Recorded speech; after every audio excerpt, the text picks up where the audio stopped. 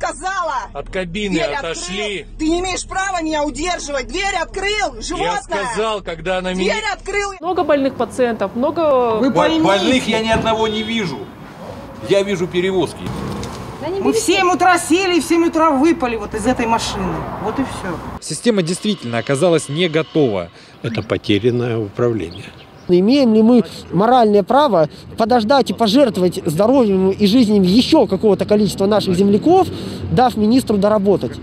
Кто бы мог подумать тогда, в начале 2020 года, что это безумие с нами надолго. По оценке разных экспертов, пандемия могла закончиться еще летом прошлого года. И уж точно мало кто понимал, что осенью нас ждет сценарий европейских стран. Переполненные госпитали и морги, нехватка бригад скорой помощи и лекарств.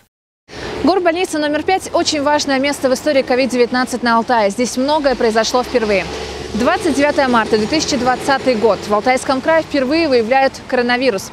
Это была жительница Барнаула, которая вернулась из Доминиканской республики. Зараженную и ее мужа помещают в инфекционное отделение этой больницы. Тогда семья этой женщины подверглась жесткой критике и травле. Спустя почти месяц, 24 апреля в этой же больнице умирает первый человек от коронавируса, первый в Алтайском крае. Эта новость взрывает информационное пространство. Многие понимают, что инфекция ближе, чем казалось, и она реально опасна. Мужчине было 57 лет, он страдал от почечной недостаточности, был на гемодиализе. Но, как потом показала жизнь, вирус начал забирать даже, казалось бы, абсолютно здоровых людей. И летальных исходов уже не один, а по 12, 13, 14 человек в день. К смерти от коронавируса все привыкли, она стала обыденностью. Это больше не вызывает панику. Люди э, э, все-таки существа, которые готовы ну, вот, и мириться со всем происходящим. Поэтому это был просто э, некий взрыв паники, а в дальнейшем мы, мы видим, что как бы, ну, вот, все осталось на прежнем уровне, просто э, снизилось информационное давление. Опять же, э, коронавирус – это тот вирус, который с нами ну, вот, останется на- навсегда, он теперь будет вс- всегда и постоянно. Очень быстро контроль над инфекцией был потерян. Люди начали терять своих близких. Даже среди известных лиц потери. Октябрь. На 56-м году жизни скончался человек-легенда, психолог Алексей Капранов. Первый телеведущий мужчина на Алтае Сергей Марков. Директор Государственного молодежного ансамбля песни и танца Алтая Александр Березиков. Тогда же в октябре встала плановая медпомощь. Люди от бессилия вышли на митинг. Болячек куча. Сейчас только Бога молю, чтоб не прихватило сильно. Встаю утром и говорю спасибо Богу, что еще я сегодня живая.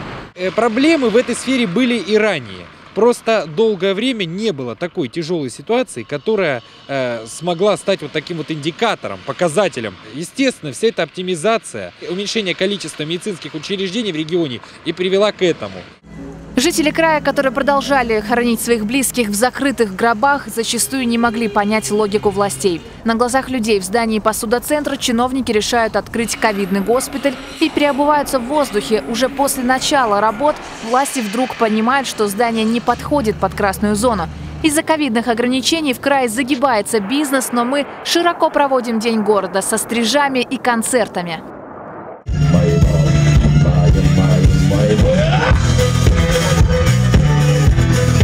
Скажите, как вам эта ковидная вечериночка? Отлично.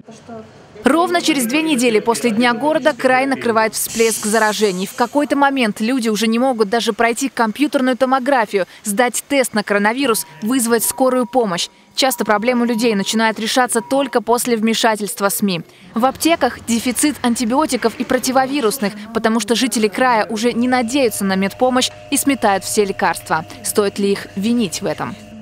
На самом деле хорошо, что этих препаратов нет в обычном доступе, потому что на сегодняшний день каждый, назначая сам себе серьезные препараты, наверное, больше бы навредил, нежели бы помог самому себе.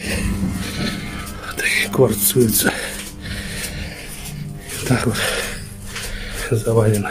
Действия, которые проводились то есть руководством а, Министерства здравоохранения Алтайского края, привели к такой тяжелой ситуации, они уже служат основанием для того, чтобы провести проверку на соответствие занимаемой должности и решать кадровый вопрос. Коронавирус застал весь мир врасплох, но возникает вопрос, почему спустя несколько месяцев пандемии мы так и не смогли подготовиться к убийственной волне коронавируса, которая прошлась по региону осенью. Вызов, когда природа бросает человеку, то общество и власть всегда обращается к кому? К ученым, к экспертам. А меня здесь потрясло, что это попало в политический переплет вначале. Вместо того, чтобы принимать решения и развертывать как-то это, собираться, советоваться, обсуждать с учеными и так далее, и каждый руководитель боится принять какое-то решение. Потому что они не знают, потому что завтра придет прокуратура и на тебя наложит э, эти наручники. Система показала, что она в принципе встроенная в авторитарную вертикаль, Однако многие считают, что власть региона смогла выйти из осенней волны коронавируса без больших провалов. Да, мы иногда запаздывали.